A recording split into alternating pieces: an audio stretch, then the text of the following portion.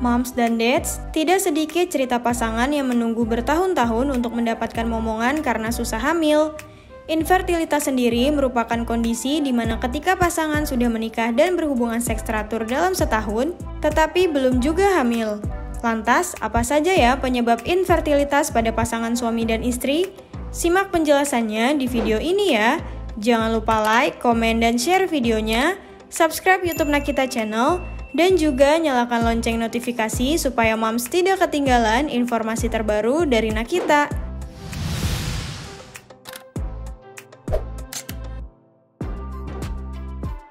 Berikut penyebab infertilitas yang kerap kali terjadi pada pasangan suami dan istri setelah menikah. Sindrom ovarium polikistik atau PCOS. Menurut sebuah studi, sindrom ovarium polikistik atau PCOS menjadi salah satu kondisi di mana sebagian pasangan suami dan istri memiliki kemungkinan untuk tidak memiliki anak. Biasanya, PCOS lebih sering dialami oleh wanita dibanding pria. Kondisi ini terjadi ketika perempuan mempunyai kelainan hormonal seperti memiliki kadar hormon androgen yang lebih besar.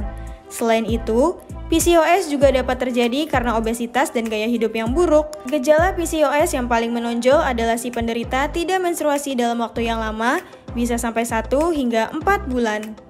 Endometriosis Salah satu penyebab infertilitas ini akibat jaringan endometrium yang seharusnya di dalam rahim sebagai darah menstruasi dan mengendap di tuba falopi.